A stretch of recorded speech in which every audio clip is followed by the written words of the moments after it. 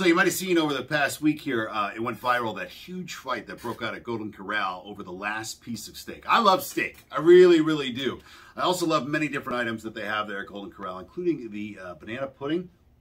Really choice. But I can't see myself getting into a brawl over it. But this happens. It happens all the time, right? The last tickets for a show or a concert, the best seat, a video game system when it first comes out.